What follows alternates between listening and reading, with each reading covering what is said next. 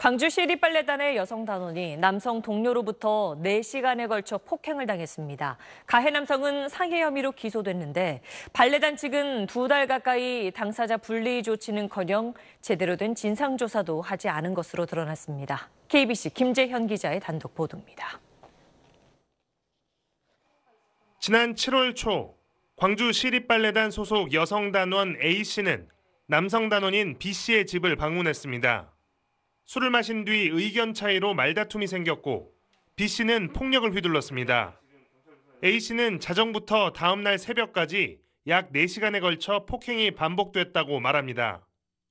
거실, 화장실, 화장실 방 이렇게 네 차례 해가지고 거의 수십 회를 때렸어요. 한 4시까지, 4시간 동안. 전치 3주의 부상을 입은 A씨는 병가를 낸 뒤 경찰에 고소장을 제출했고 가해자는 단순 폭행이 아닌 상해 혐의로 기소됐습니다. 하지만 지난달 초 병가를 마치고 발레단에 복귀한 A씨는 뜻밖의 상황에 좌절했습니다. 가해자는 정상 출근을 하고 있었고 발레단에서 직접 마주치는 일이 반복되면서 A씨는 수면장애 등 불안 증상까지 겪었습니다. 결국 지난달 말 노조가 항의에 나선 뒤에야 문예회관 측은 진상 조사에 나섰고 사건 발생 50여일 만에 가해자를 발레단 업무에서 제외했습니다. 하지만 가해자에 대한 징계 요구는 재판 결과가 나오지 않았다는 이유로 묵살됐습니다.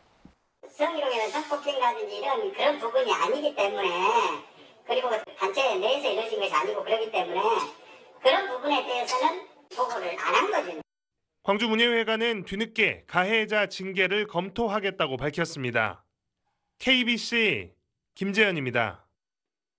네, 안녕하십니까. 김현우입니다. 더 많은 뉴스와 라이브 이벤트를 보고 싶으시면 화면 오른쪽을 눌러서 구독해 보시길 바라겠습니다. 또 저희 SBS 앱을 다운로드 하시면 속보 알림도 받아보실 수 있습니다. 항상 저희 SBS 뉴스를 시청해 주셔서 대단히 고맙습니다.